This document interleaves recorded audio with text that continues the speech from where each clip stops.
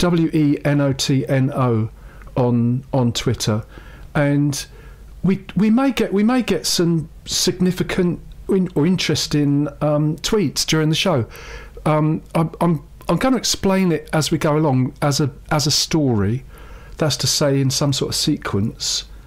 But I, I think there is a there is a situation which interests me, which is the the television uh, that may or may not happen around the Radio One big weekend, because last last week the Radio One Academy was in this building, the the Phoenix in Exeter, Phonic FM. This studio is in the basement of that, and my my memory is that there was no mention at all of BBC Four or television. It was as if television had gone. Um, these these are people talking about what happens with their content, the the live lounge and so forth, and uh, offering advice or training for people going into uh, creative industry careers.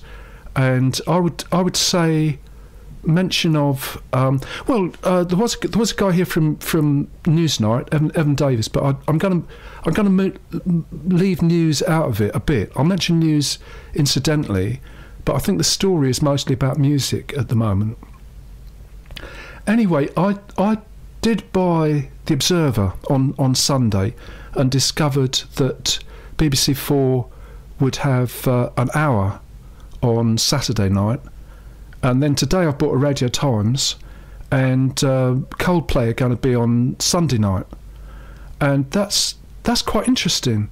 Um, I'm not. I'm just not sure what the what the thought is behind it all. If the BBC has a, a policy about showing stuff or not showing stuff, depending on the target age ranges or something like that. Uh, anyway, uh, twi- our Twitter feed is open, and I'll I'll be saying more about that in some sort of sequence. But if if you if you have information about that, or um, if you think that the BBC Four schedule should change, this that's basically what I think. Um, do do tweet and see see see what you make of that, and I'll say say a little bit more about the tweets we've we've already had.